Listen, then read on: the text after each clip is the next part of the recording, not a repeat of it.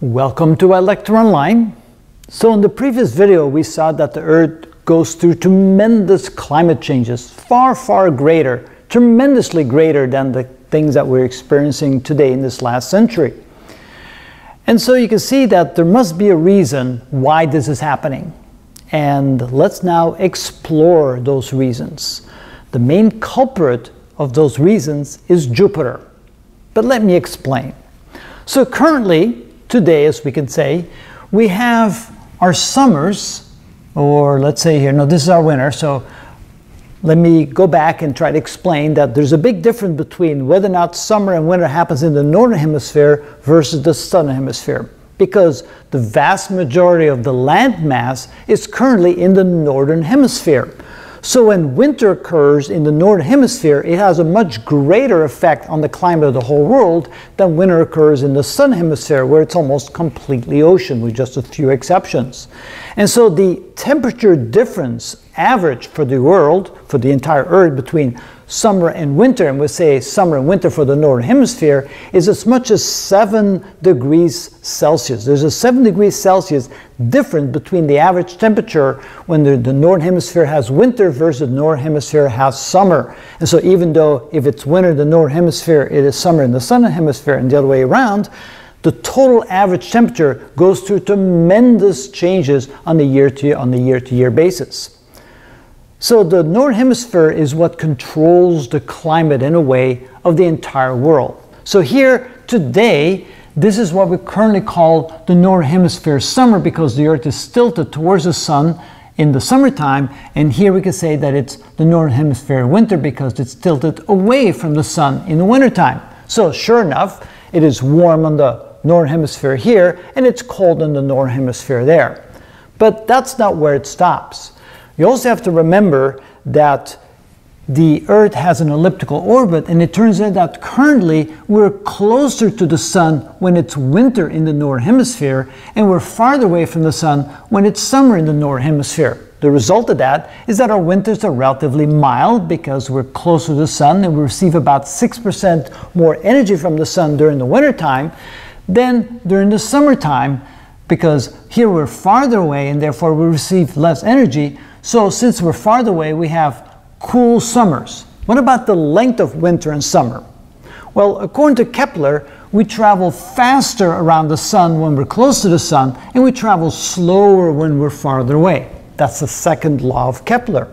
And so our winters, therefore, are shorter because we travel faster when we're close to the sun, and our summers are longer because we travel slower. So longer summers, shorter winters, warmer winters because we're close to the sun, and this is when we have a very mild climate. That is why we're currently in that interglacial period with very nice temperatures. But it's not going to stay that way. Because in about 11,000 years, the Earth will now be tilted in the opposite direction. It's already beginning to go in that direction, so it takes about 13,000 years, but since already several thousand years into this process, the Earth actually wobbles like a top. Since it spins on its axis every 24 hours, it causes the Earth to wobble and the actual tilt of the Earth is constantly changing. Every 26,000 years, the actual tilt makes one complete circle. So in about 13,000 years, or from now about 11,000 years from now, because we've already started this process, the Earth will be tilted in the opposite direction, so the northern hemisphere will experience winter here and will experience summer there. Since we're now farther away from the sun, we receive 6% less energy from the sun, and we spend more time far away because now we're traveling slower, so we'll have much colder and much longer winters. We'll have warmer summers, but shorter summers. And so therefore the climate will be very different. It will be much colder on the earth when that happens. And that's probably why we'll tend to go back to the next ice age.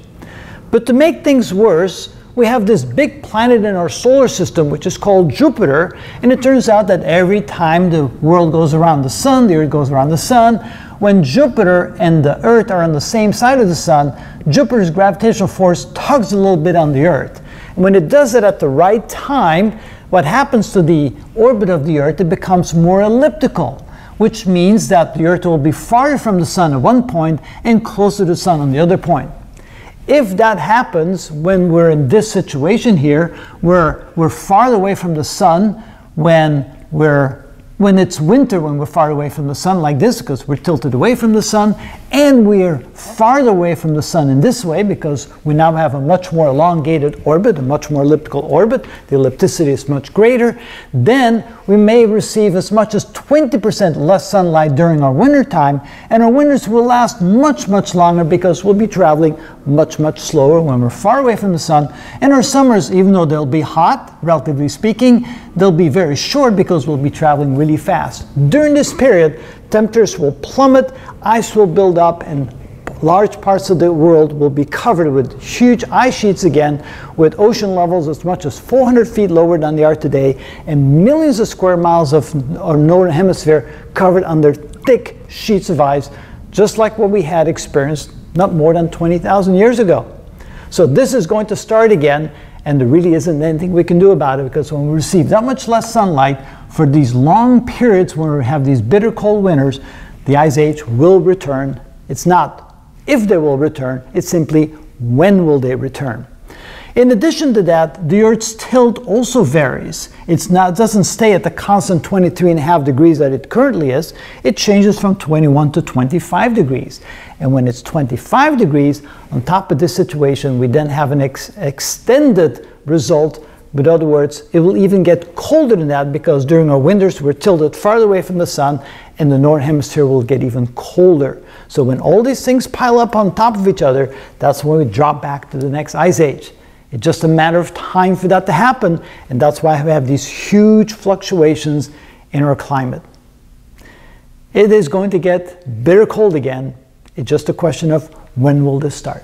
In your number one today, why is the light side, since that's tilted towards the sun? So, It's, the- it's yes. also further away from the sun. Why is it summer? so the tilt, so the question is, we're farther away from the sun. Why is it summer in this location? And it's because we are tilted towards the sun so that the northern hemisphere receives much more direct sunlight than the sun hemisphere because it's like even the south pole there doesn't receive any sun at all and it, it goes completely dark and the temperatures just plummet during the wintertime.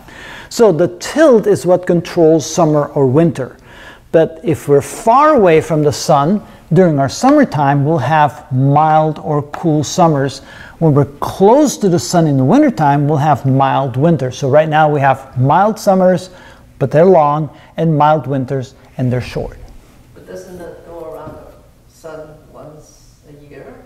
Right, so this happens over and over again. That's why we go from summer to fall to winter to spring to summer and so forth. Yeah, but even though it's tilted towards the sun, you're further away from the sun.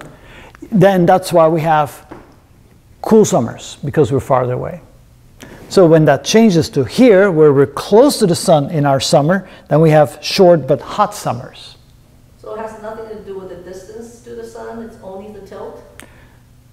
So the, the season is only due to the tilt. The coolness or warmness of the season depends upon if you're close or far away. Yeah.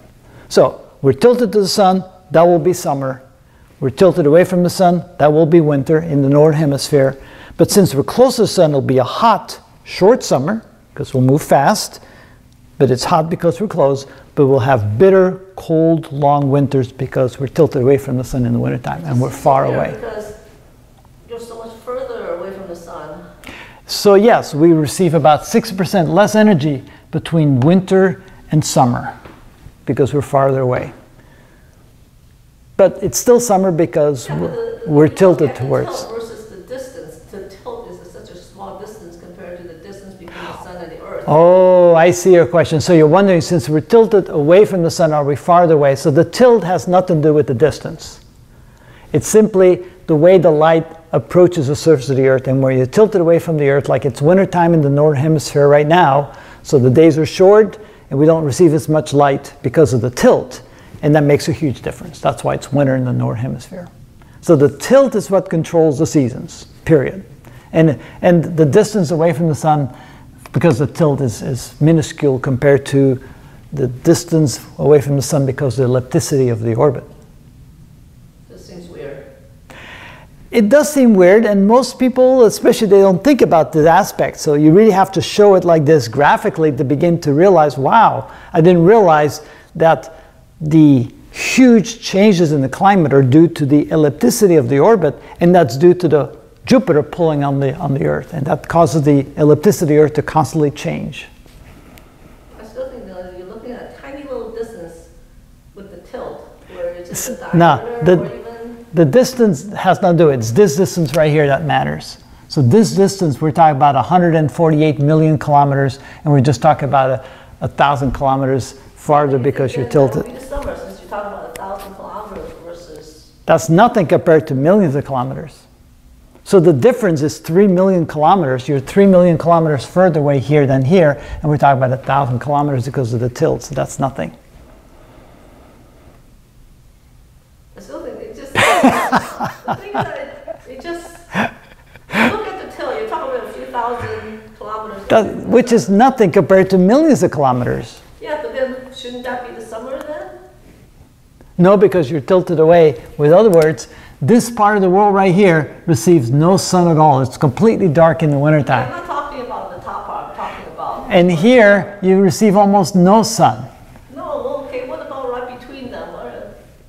So the, the equator is like this. So it's, it's this part of the world, 22 and a half degree, or 23 and a half degrees below the equator that receives the sun directly. So now it's summer in the sun hemisphere and it's winter in the northern hemisphere because you receive almost no sun. So if I draw it bigger like this, so here's the world, here's the axis, here's the sunlight coming in this way, right? And here's the equator. So you can see that this part of the world receives the sunlight directly, so it's nice and warm. And this part of the world receives it at a, at a very sharp angle, so we receive just a little bit of. So this sun right here is distributed over a much greater distance, where here this much sun is distributed over a much smaller area. I should say this. I should say area. So that's why it's dispersed. and That's why it's so much cooler over there. Yeah, but you're just that much closer to the sun, shouldn't you be getting that much more energy or heat? So, so the so definitely. Whoa, my cap fell off. So definitely, uh, when we're like this, this is the northern hemisphere winter. So we're much closer. We're three million mi- three million kilometers closer to the sun than we are in the summertime. So we receive more energy, but it's distributed over much greater regions, So it's still it's a milder winter. Right now we're experiencing mild winters. Don't talk about don't talk to the people in Siberia because it's minus 72 in Oymyakon right now. Many cities in Siberia are like minus 60 degrees, so it still gets cold, but wait another few thousand years and we're talking about minus 100 over there. So those a few million kilometers doesn't make up for the, A few million kilometers closer make it for mild winters, but also short winters because we travel much faster during that period of time.